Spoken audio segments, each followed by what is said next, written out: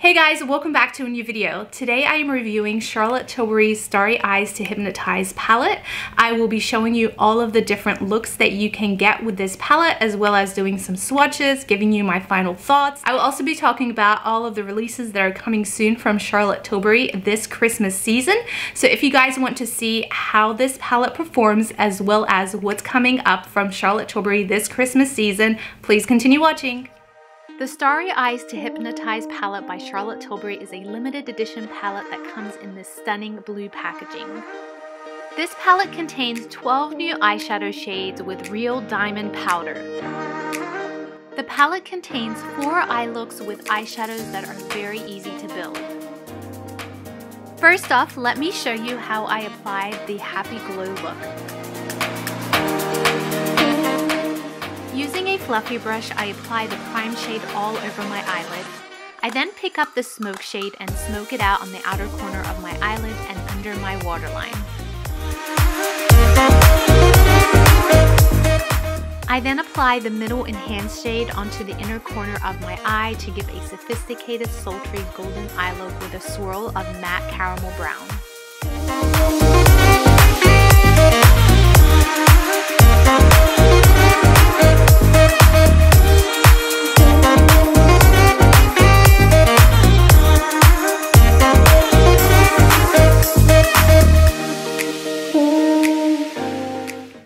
First off, let's talk about the packaging.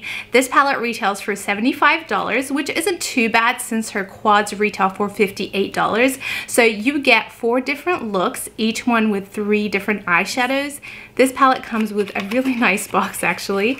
And then inside the palette kind of has this ceramic type of feel and look. It is absolutely stunning. And it's in a blue color, which I love. Usually you don't see kind of this kind of blue for a Christmas type of collection.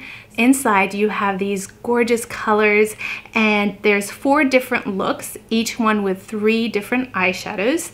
And it kind of goes for a day all the way up to a night type of look. With past year's palettes, I felt like the colors looked kind of close to each other.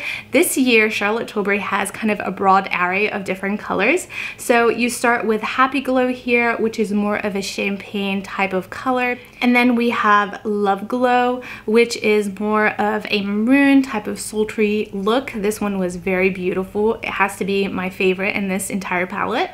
Then we have Dream Glow. I really do love that there was a green in this palette. This would look really nice for Christmas. The only thing is this green color definitely did have a lot of fallout with it. The other colors were fine. I didn't see any kind of fallout, very minimal fallout, but with this green, you definitely can see it. It still gave a very beautiful look. I really love the way these eyeshadows apply. They're the standard Charlotte Tilbury formula, very creamy, very beautiful, and just that really sultry type of look. And finally, we have Seduce Glow. That's what I have on my eyes right now. This is a gorgeous look. I didn't think that I would love this as much, but it really is beautiful. However, the black color is quite patchy. You can even see it with the swatch but applying it onto the eye wasn't so bad. What you really need to do with that one is apply a little bit and kind of just go slow with it and blend it in very well and it gives such a gorgeous color. The silver in the Seduce Glow is gorgeous. I loved smoking out that black and then applying that silver looked absolutely stunning. This would be a perfect look for dinner, a night out, or even for New Year's Eve. What I love about Charlotte Tilbury's palettes is the simplicity of applying her eyeshadows. A lot of the time you buy these palettes, there's so many colors and you have no idea where to go. Now, of course, you can mix and match and use these colors the way you want. This palette is so beautiful. I highly recommend recommend it, especially if you love Charlotte Tilbury products. This one is her the same type of formula. It's very gorgeous. You can get so many different looks out of it and they're very wearable. Of course, I'm a fan of Charlotte Tilbury products, so I'm not surprised that I really love this palette, but I definitely do highly recommend it to you guys, especially if you're wanting to try out Charlotte Tilbury's eyeshadows and you feel like her quads are a little bit steep in price for what you get. This is the perfect way to kind of try out her eyeshadows eyeshadows and they're all just very beautiful looks.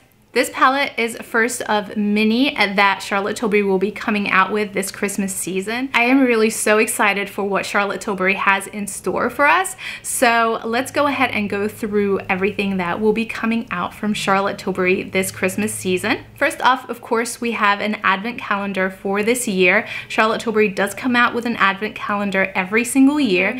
The advent calendar usually has many sizes of her best sellers. I am so excited for this one. Of course, it still has that blue type of theme. The entire Christmas collection does have that blue theme to it, which I love. Another release will be a magical mini brush set. I particularly am in love with the little slip that the brushes come in. So beautiful.